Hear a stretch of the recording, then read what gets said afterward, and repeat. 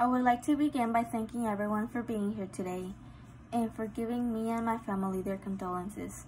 It has been very comforting to share our grief with all those that knew my mental health.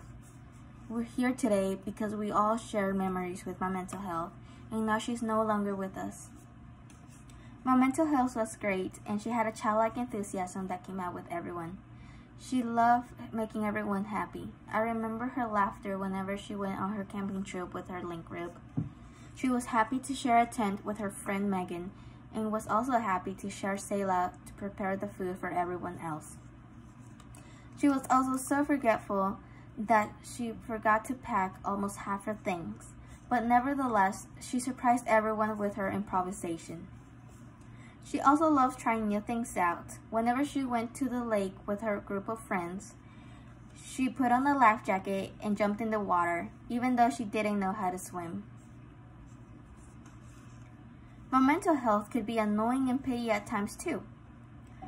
She was very upset whenever she didn't get the room she wanted at Johnson Hall, even though she ended up rooming with her friend Anna anyway. And let's not forget how much of a procrastinator she was. She always said she worked un better under pressure. This was true, but she was also killing herself in the process. The change of splitting the semester in half messed with everyone, but it specially served in giving her her final blow. The stress of how fast classes went and how deadlines seemed to appear out of nowhere was too much. She was also currently looking super tired and didn't want to get up in the mornings anymore.